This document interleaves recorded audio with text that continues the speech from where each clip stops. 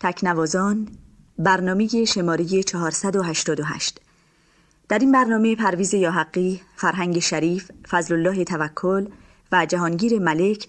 قطعاتی را از درآمد، زابل، مویه و حصار از دستگاه سگاه را اجرا می کنند.